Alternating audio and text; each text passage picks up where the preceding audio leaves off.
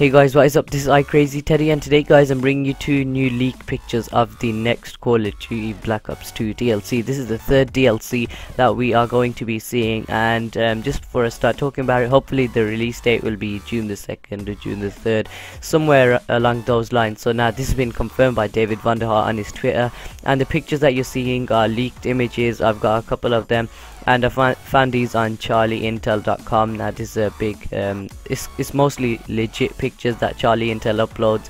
I know um, a couple of them are just speculations and stuff but this has been confirmed by David Vonderhaar so let's get started.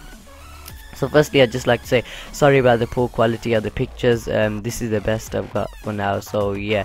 Um, this was leaked I think yesterday so I'm gonna try and just pump out this video as fast as I can. So as we can see we've got a new bonus zombie weapon which just excites me. Yeah it's kind of disappointing because um, Treyarch said to us or Activision said that there isn't gonna be any more bonus weapons. Now this kind of uh, look of where I'm coming from. I'm not trying to I'm not trying to hate or anything but um, isn't isn't it just obvious that a new zombie map is going to have a new wonder weapon? I mean, Die Rise, it had this liquefier.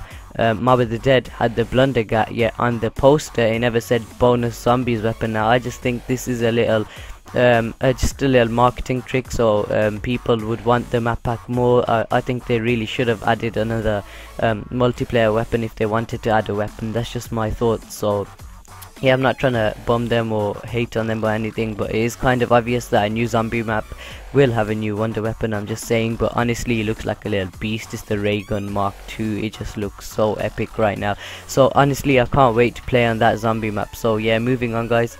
The zombie map is called Buried now. Um, loads of people saying the Eiffel Tower is in the background. Here's the second picture, but um, it looks to me like it's a maybe it's a abandoned mine shaft or something like that. I don't know. I'm just saying this. I know the picture isn't very clear, but that's what I think anyway. That's what um, I'm speculating right now. So we got the four multiplayer maps. We got Cove, Rush, Uplink, and Detour. Can't really say much about them. Detour looks like there's uh, like a little hurricane or tornado at the background uplink can't really see that well. Um, cove looks like a tropical map and rush rush looks a bit like chinatown from cod 4 or just maybe even um, bootleg from modern warfare 3 so loads of lights and i really like those kind of maps.